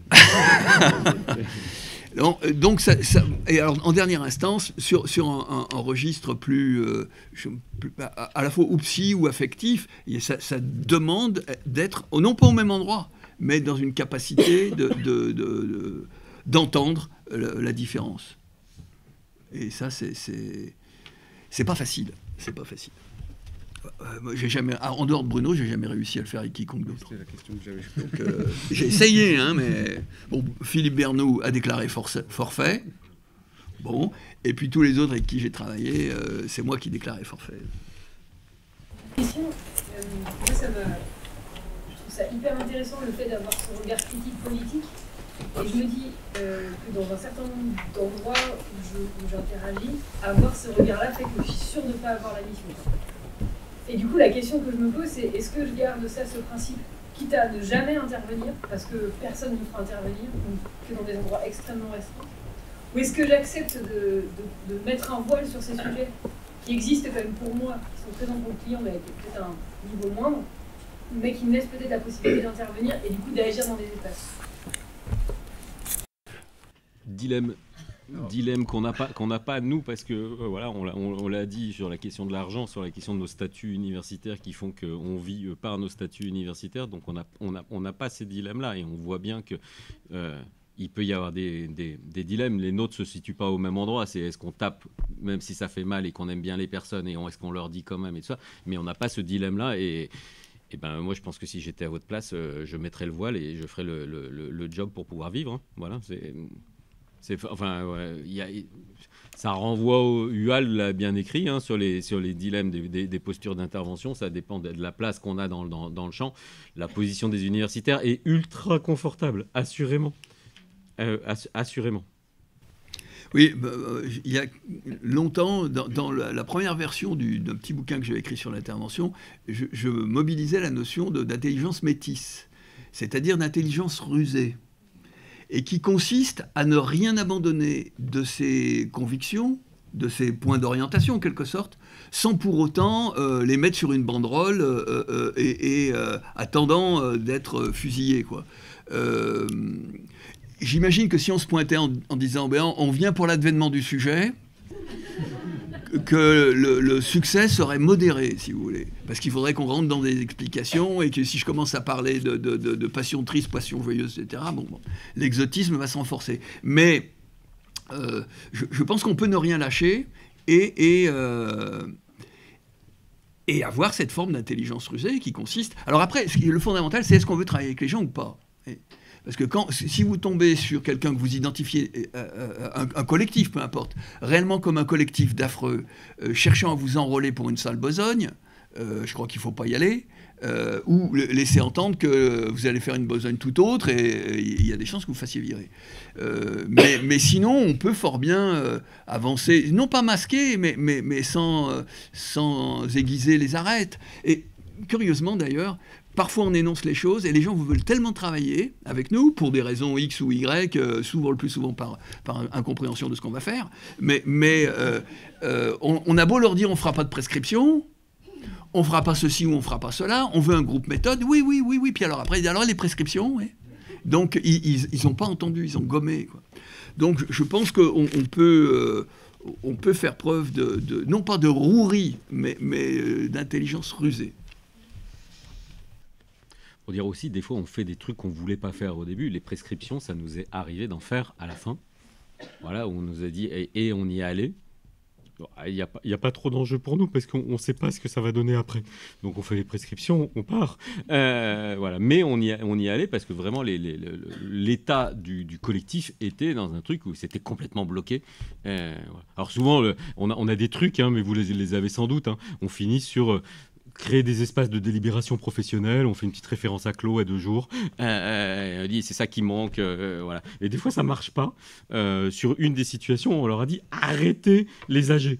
voilà, arrêtez les, les âgés au moins pendant un temps, parce qu'il y a des gens qui flippent de venir aux âgés. voilà, donc ça montre bien qu'on ne sait pas à l'avance tu disais qu'il y a oh, un, débat qu'on a eu longtemps, c'était est-ce qu'il y a des malentendus initiaux où en fait il y a plein d'inattendus au fur et à mesure? Moi, je pense plutôt qu'on a, il y a plein d'inattendus euh, qui font que à la fin il y a des malentendus, mais ils sont pas nécessairement euh, en, initial. Mais nous aussi, on se jette des, voix, des, fois des, voiles pudiques sur des trucs qu'on a dit qu'on ferait pas et euh, finalement on fait parce que parce que ça nous est ça nous est demandé. Et quand on est attaché au collectif, on, y est attaché, on n'en sort, pas si, facilement, si facilement que ça. D'ailleurs, bah, le, grand truc, c'est de savoir aussi quand est-ce qu'on sort. Des fois, des fois, on nous fait sortir, donc là, l'affaire est réglée.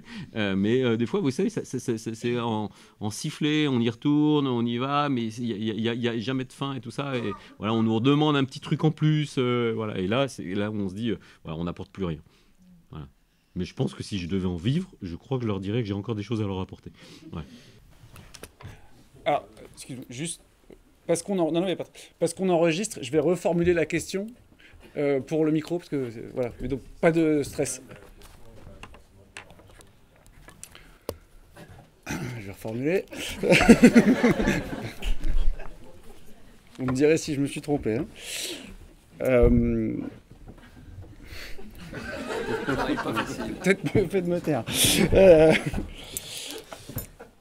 Alors, il y a une question qui se pose entre effectivement euh, l'intervention sociologique, euh, d'un côté qui va être tirée du côté du consultant ou du conseil, euh, Boltanski n'hésite pas à le rappeler, hein. et qu'il y, bah, y, a aussi des rapports de force voilà, qui ne sont pas forcément en faveur de l'intervention sociologique.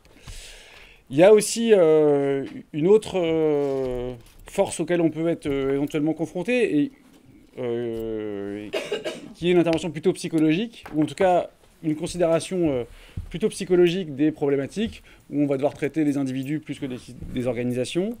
Euh, et voilà, donc ça c'est pour la formidable. Et qu'est-ce que... on a parlé de la clinique tout à l'heure à deux.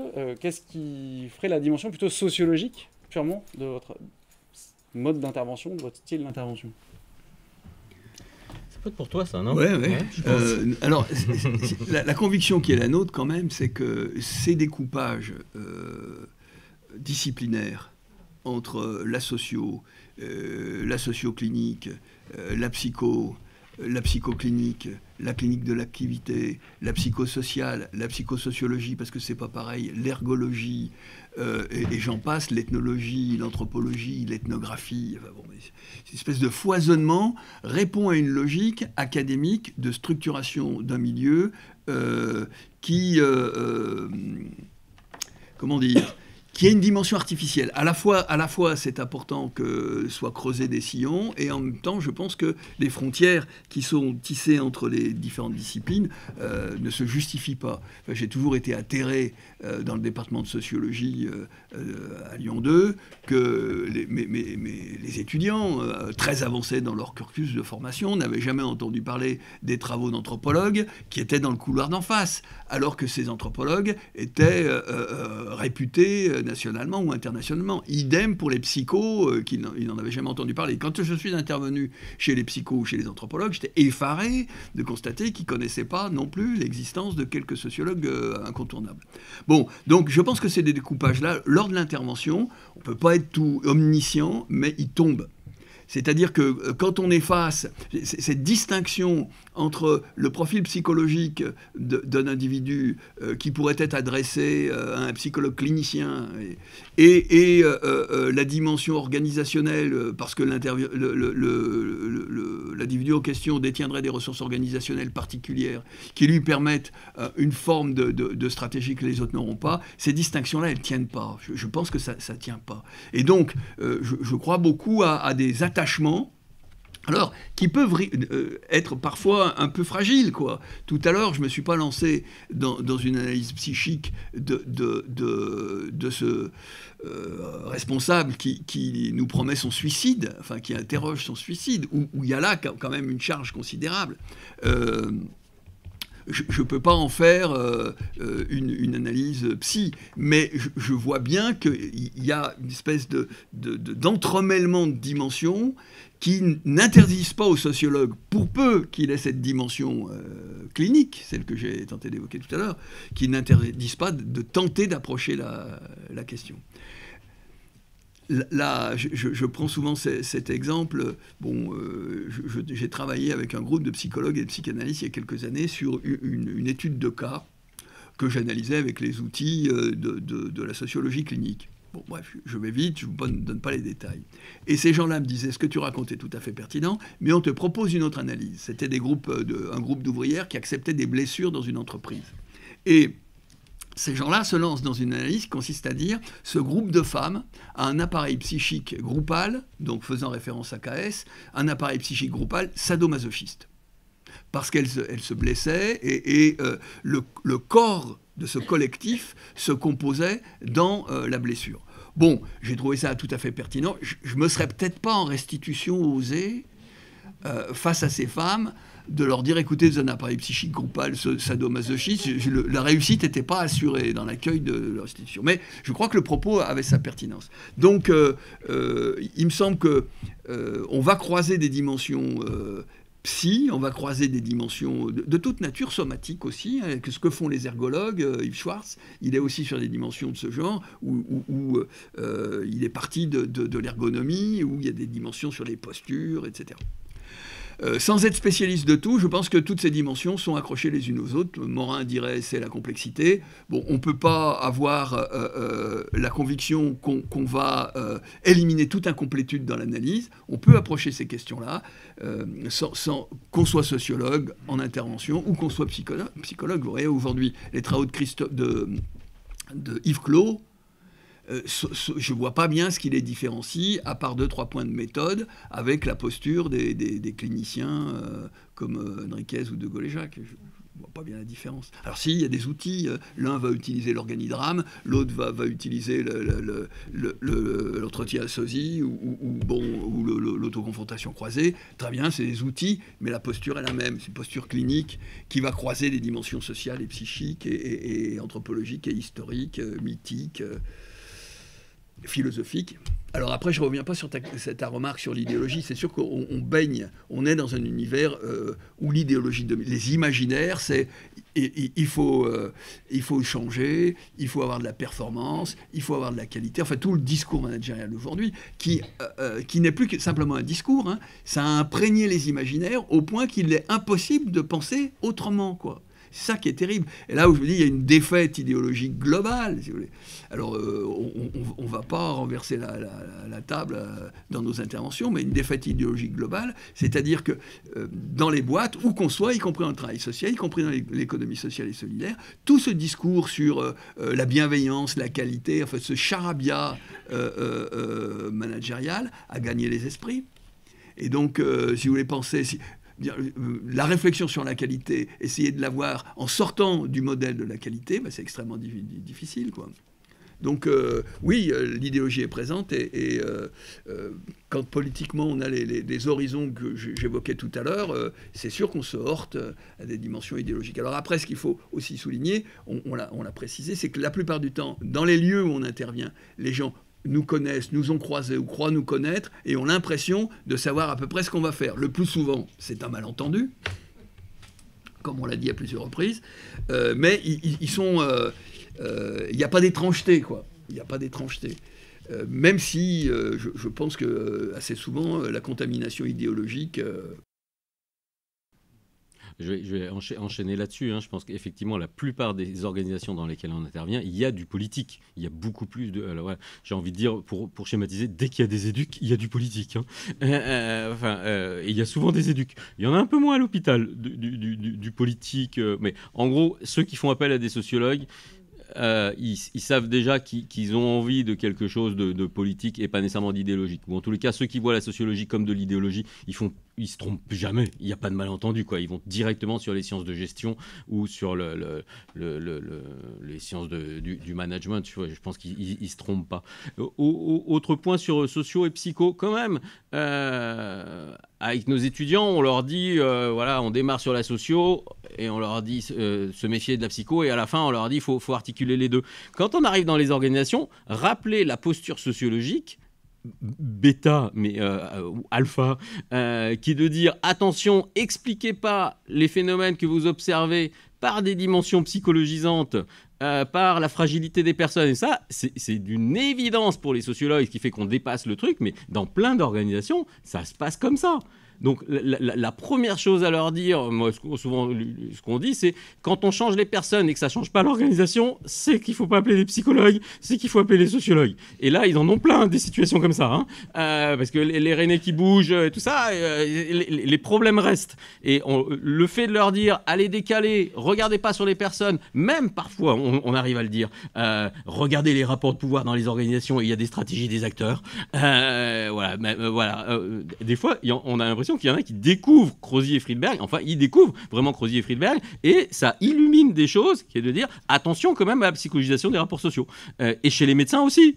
Enfin, voilà, plein de médecins sur les lectures du burn-out, des risques psychosociaux et tout ça, des lectures hyper psychologisantes ou personnalisantes, on en a. Donc je me dis quand même que dans c'est la base de ce qu'on leur présente euh, quand on leur présente la sociologie. On leur présente jamais la sociologie dans les premières euh, rencontres en leur disant euh, on va foutre le bazar, c'est politique, voire idéologique. Hein. Ça, on dit rien. À eux de comprendre. éventuellement, par contre, qu'on positionne la sociologie en disant que ça va ouvrir, ça va regarder l'organisation et qu'on a la limite, on n'en a pas grand chose à faire des personnes euh, je, trouve, et que ça peut aussi les déculpabiliser euh, personnellement d'identifier des, régulations. Euh, moi, je trouve que c'est, là, on porte l'étendard de la sociologie, mais comme tous ceux qui sont ici dans cette salle, j'imagine. Je, vais me lever pour m'entendre. alors moi j'avais des merci beaucoup hein, pour nous avoir ouvert votre boîte, voilà, d'une manière je trouve très très riche et très, euh, comment dire, très sincère. Enfin, c'est ce que je ressens, en tout cas, en tant que sujet. Euh, moi, j'ai deux questions, en fait.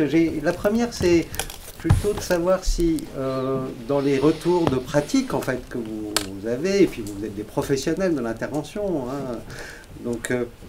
je me dis dans la salle, il y a peut-être des, il y a, des gens dont je fais partie tout à fait qui sont moins aguerris que vous pour, pratiquer l'intervention. Il y a des gens qui sont à l'intérieur de l'intervention, de, l'organisation.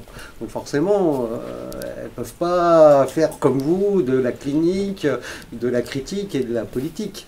Euh, bon, alors, ceci dit, qu'est-ce que vous donneriez comme, je sais pas, peut-être quelques enseignements? Alors, je n'ose pas employer le terme de préconisation, parce que vous n'allez pas faire des préconisations aux gens de l'interne sur comment intervenir dans les organisations quand on n'est pas à l'extérieur avec la légitimité que vous avez et qu'on est plutôt bah, au milieu de ses collègues finalement. Alors voilà, qu'est-ce qu'on pourrait quand même peut-être trouver comme bonnes idées, bon, d'éléments un peu de votre retour d'expérience? Et puis la deuxième question que j'avais, c'était de savoir si vous aviez pensé, ou si ça s'était déjà produit, de rentrer non pas par euh, des commanditaires euh, de la direction, du management ou des RH, j'en sais rien, mais plutôt par le biais par exemple des syndicats par le biais des représentants du personnel, enfin par le, par le bas en fait. Voilà. Est-ce que ça se produit? Est-ce que c'est est -ce c'est une piste à creuser? Euh, Est-ce que c'est des perspectives aussi peut-être pour que la sociologie... Euh, alors, Gilles, tu parlais de métis, de sociologie presque des coulisses, hein, d'être un peu rusé. Bon, est-ce que c'est une technique de ruse euh, qui vous paraît pertinente? Moi, il m'est arrivé d'intervenir pour des organisations syndicales. J'ai envie de dire que c'est le même problème que, pour intervenir sur une direction. C'est toujours le rapport entre, entre euh, intervenants et, et, commanditaires. Euh, une direction va, va, nous dire allez pas voir les organisations syndicales. Et les j'intervenais pour un CE de CGT d'une grosse boîte de, de, il y a longtemps, hein, euh, de, mécanique, et euh, le, responsable du CE qui finançait l'intervention et qui était euh, tenu par la CGT, le CE à l'époque où les comités d'établissement existaient encore, et il me disait, vous n'allez pas voir le, DRH, hein, parce que. Et puis, il disait, vous inquiétez pas, s'il y, a des problèmes pour les, pour les conduire des entretiens, euh, vous ferez ça au local syndical, marqué sur la porte CGT. Donc, euh, euh, donc j'ai envie de dire, les, situations sont à peu près. La posture de l'intervenant est à peu près la même, que l'on soit sollicité par les uns ou, par les autres. Après, les conseils, en nous, on a quand même une situation confortable euh, en tant qu'universitaire de pouvoir intervenir et ne faire que passer, euh, y compris même au sein de l'université, de pouvoir tenir des propos qui qui nous conduisent pas nécessairement, on peut être aussi un peu placardisé, mais enfin, euh, qui ne conduisent pas nécessairement aux affres que les gens peuvent connaître dans, dans, les boîtes privées. la conviction qu'elle a, mais c'est trop facile de, de dire ça, c'est on lâche pas, on dit ce qu'on a à dire, on se laisse pas marcher dessus et, pas tout seul, les collectifs. Euh, c'est important, mais ils sont dissous aujourd'hui, ces collectifs. Mais tenter de, de même euh, en bricolant le collectif, non pas en tant qu'incantation, euh, mais le collectif reconstitué à partir d'une exploration du contenu de l'activité réelle. Et les, gens qui discutent de leur activité, pas nécessairement en étant d'accord, mais en échangeant leurs tuyaux, en échangeant leur, leur, fragilité, etc., peuvent faire collectif. Et collectivement, oser prendre la parole quand on a un, management délétère et destructeur, euh, euh, c'est impératif parce que sinon ça va crescendo. Il ça, n'y a aucune espèce de raison que ça s'arrête. Et bon, on, a, on, s'est limité à ces sept cas, mais dans toutes les interventions qu'on a pu faire les uns et les autres, mais il y a des situations mais, dramatiques de, de, de managers qu'on laisse qu'on laisse euh, piétiner. Alors, ils, se piétinent eux-mêmes, mais ils piétinent leur entourage. Et je pense qu'il n'y a pas d'autre solution que de mettre des mots. Critique, critique, critique. Alors après, le, placard est, pas bien loin, mais, euh, il n'y a pas d'autre solution, je crois. Marie Peset, euh, qui a tenu ses, permanences très longtemps avec des gens qui tombaient malades au travail, le disait sans cesse. C'est-à-dire que la première manière de se soigner, c'est de parler ce dont on souffre. Et donc, euh, bon, alors c'est plus facile à dire qu'à faire, mais je ne vois pas bien d'autres euh, solutions. Alors, les consultants internes sont des situations compliquées. On intervient avec Bono depuis des années à EDF, avec des consultants euh, internes. On leur raconte ce qu'on fait, ils disent mais c'est pas possible pour nous de faire. Mais ils sont coincés par un protocole d'intervention qui ne prévoit pas de groupe méthode, qui ne prévoit pas de, restitution à l'ensemble, mais simplement aux, commanditaires, aux directeurs de, la centrale. Donc le, le dispositif les contraint. Alors comment faire pour qu'ils respectent le dispositif tout en essayant de le tordre euh, dans, des jeux un peu rusés?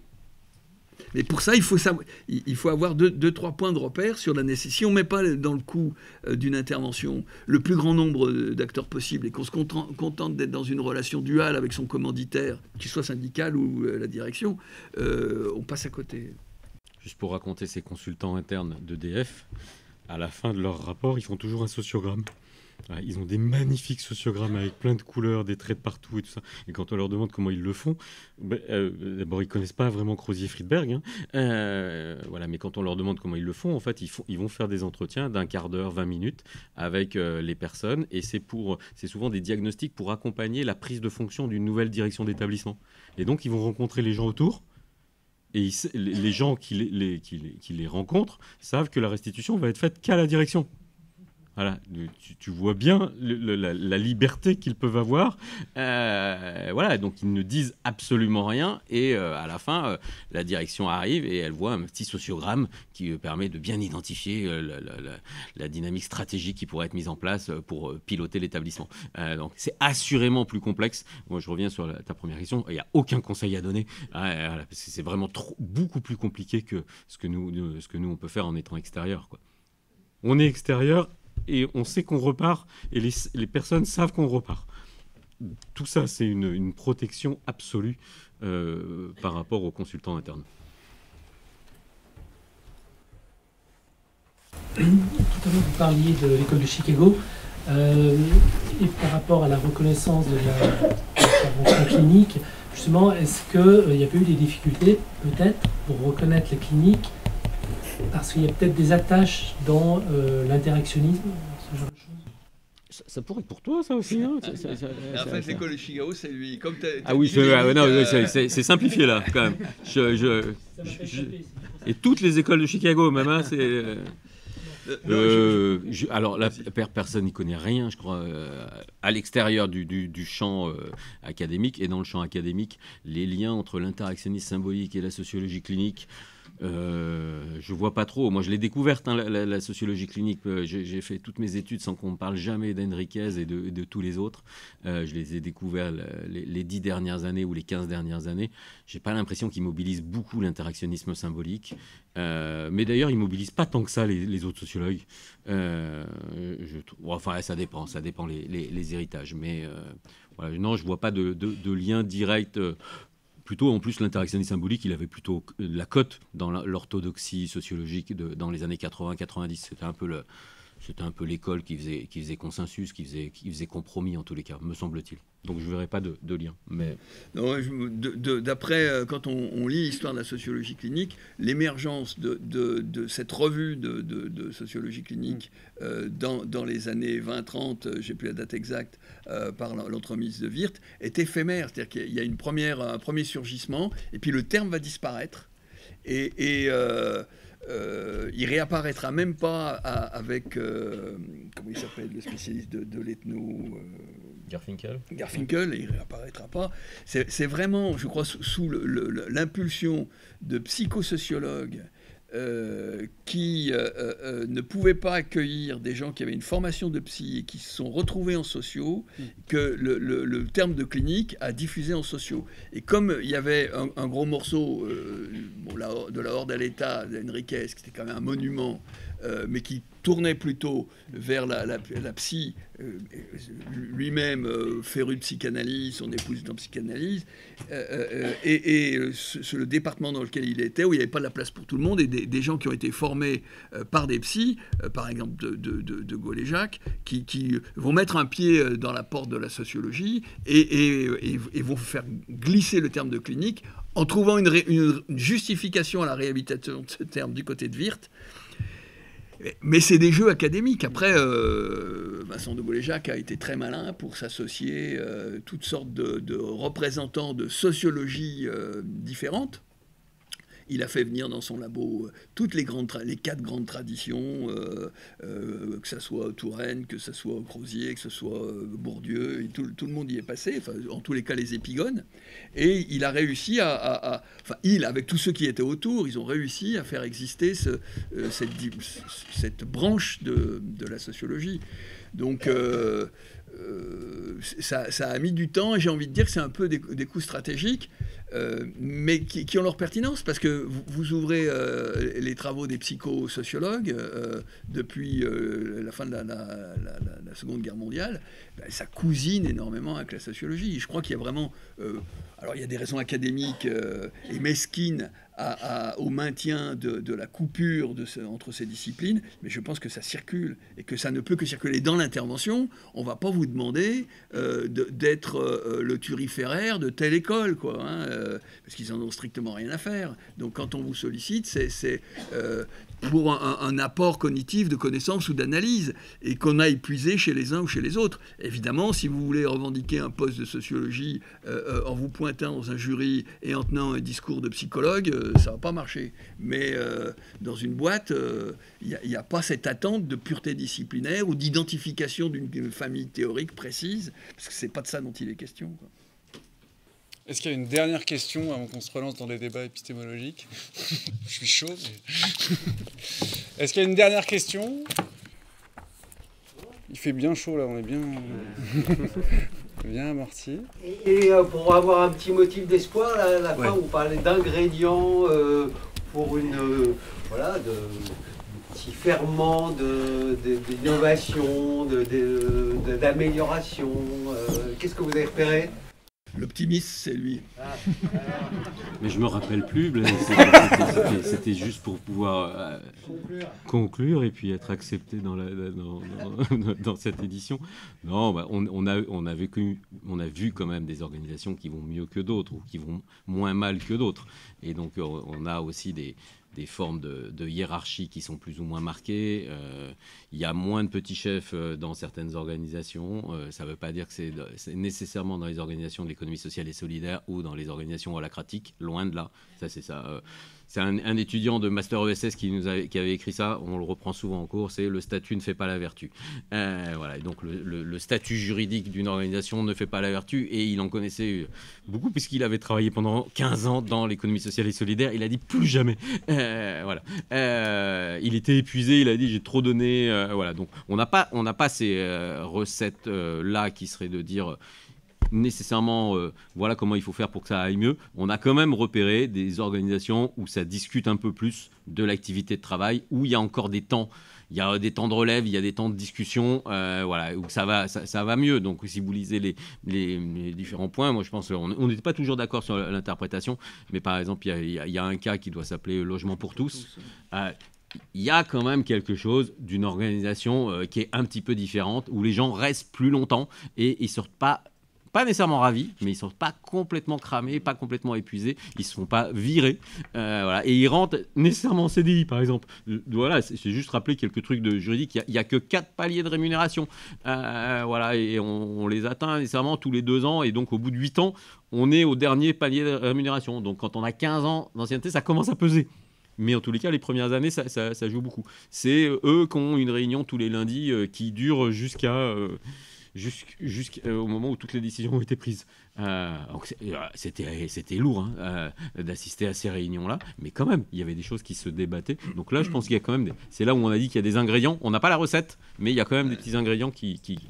Logement pour tous, c'est une vraiment, ça nous a. on n'a pas hésité à critiquer. Il faut critiquer même, il faut critiquer.